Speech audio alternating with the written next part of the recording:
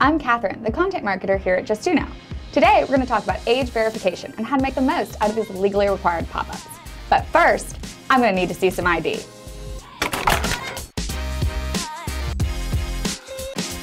You know the pop-ups we're talking about. They're on sites like wine clubs, distilleries, vapes, firearms, and other adult sites. Because of the nature of their business, these retailers have to confirm a visitor's age. Depending on where you are, different laws will apply, and your specific niche may have more regulation than other industries. But no matter what, you're still gonna have to set up one of these age gates. Also, if you're worried about Google and your mobile search results, don't fret. Since these pop-ups are required, your site won't be penalized for having to alter the user's experience.